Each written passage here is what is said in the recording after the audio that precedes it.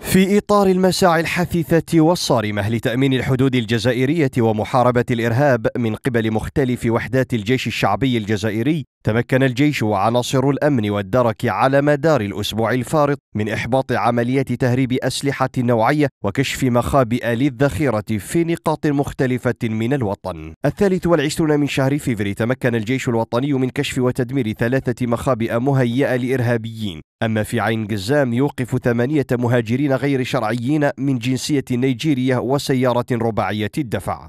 أما في كل من غردايا وورقلة يوقف الدرك ثمانية مهاجرين غير شرعيين من جنسية مغربية. الرابع والعشرون من شهر فيفري الجيش يدمر بالمدية وسيدي بالعباس عشر مخابئ مهيئة لإرهابيين تحوي معدات لصنع المتفجرات. أما بالوادي فيوقف قطاع العمليات ستة مهاجرين غير شرعيين من جنسية مغربية كانوا بصدد التوجه إلى ليبيا. وفي تلمسان يوقف حرس الحدود خمسة مهاجرين من جنسية مغربية ويحجز 1260 لترا من الوقود بصدد التهريب.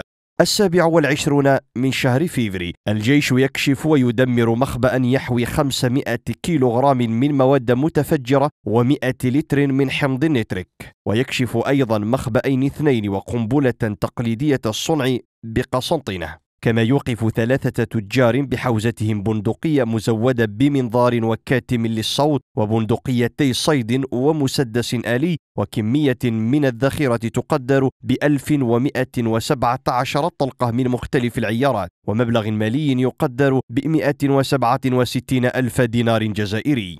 الثامن والعشرون من شهر فيفري الجيش يكشف مخبأ بتمراس يحوي على أربع بنادق رشاشة من نوع FM وثلاثة مسدسات رشاشة من نوع كلاشينكوف وبندقية وذخيرة من مختلف العيارات.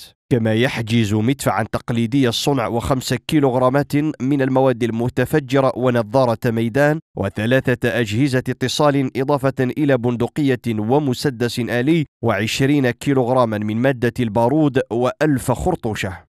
أما بتلمسان وعين تيموشنت وتيارت يوقف فيها الأمن سبعة مهربين ويضبط أزيد من 100 كيلوغرام من الكيف المعالج وثمانية عشر ألف لتر من زيت المحركات. وفي بشار أيضا يضبط الأمن فيها 498 كيلوغراما من الكيف المعالج.